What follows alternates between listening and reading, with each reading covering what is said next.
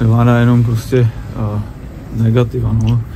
Až na začátek zápasu, kde jsme si uh, vytvořili nějaké slibné příležitosti a, a asi by se nám hrálo líbí, jsme nějakou z nich proměnili.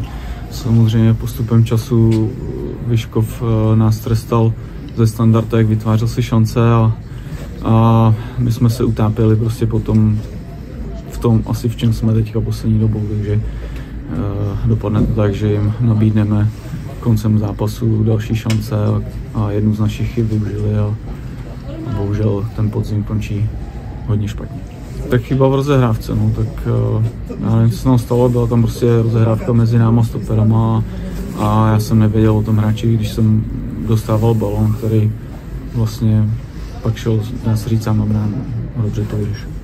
No, tak je to taková prostě tečka za celým tím podzimem, který se nám vůbec nevyved a v těch posledních zápasech nebylo ani moc jako čeho se chytit, protože v těch eh, předchozích zápasech jsme sice nedělali body, ale, ale třeba jsme i hráli dobře, bylo to jenom o tom, že jsme nedávali góly a, a tím jsme neměli ty body a teďka v posledních zápasech prostě je to takový, že o, eh, prostě utápíme se v tom, no.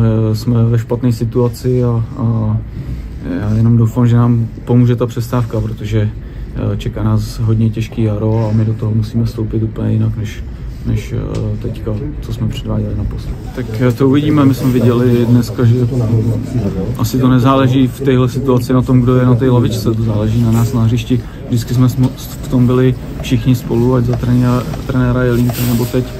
No, prostě jde o to, co se stane na tom hřišti. A, a nás teďka sráží naše chyby, naše nepřesnosti, naše nepře- neproměňování šancí a prostě teď to jde všechno dokupy. E, všechno je špatně a, a prostě ty zápasy tak dopadají. Jako, ty já jsem, nebo šli jsme do toho si myslím, dá se říct i před zápasem, takže jako asi to není až taková výhoda jít v této situaci proti druholigovému týmu, který je na nějaké vlně vítězství druhé lize, je na postupových příčkách, tak jako neřekl bych, že kdokoliv z nás něco chtěl nebo měl v hlavě, že, že přijede druholigový soupeř, to o tom vůbec nebylo, prostě to bylo o tom, eh, v jaké my jsme situaci a v jaké oni. Bylo to vidět, že si věřili. My na začátku bych řekl, že taky, že eh, asi by nám pomohl ten gol, prostě kdyby jsme střelili a, a vedli bychom, tak, tak si myslím, že, že to třeba z nás spadne a, a hraje se nám lehčej, ale takhle to bylo všechno upracované a, a pak samozřejmě postupem času už se to moc nedařilo, dá se říct, eh, nic nešlo lehce a, a ta tečka, chyba a gol to prostě potvrdilo celý ten nepovedený podzim. Tak já hlavně chci říct, že asi všichni víme, že, že to bude boj o o nějaký sestupový příčky, co nás čeká na jaře a všichni si to musíme uvědomit a prostě tak do toho jít už.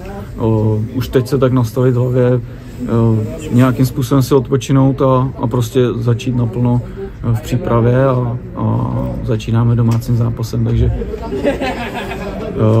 prostě uvidíme, co přijde v přípravě, ale, ale už od toho prvního zápasu si musíme být vědomi toho, že hrajeme o záchranu a, a urvat body v každém zápase hlavně doma a, a přivážet potom něco zvenku, protože teďka v domácích zápasech jsme moc bodů neuhráli. Jsem rád, ale na druhou stranu, jako co je dobře, nevíme. No. Teďka je fakt, že v posledních zápasech jsme se ani ničím jako moc nemohli nadechnout, protože nás fakt sráželo všechno a, a ten dnešní zápas byl takový navíc, kde jsme se mohli trošku nadechnout k tomu, že ten podzim nějak, nějakým způsobem lepším třeba zakončíme.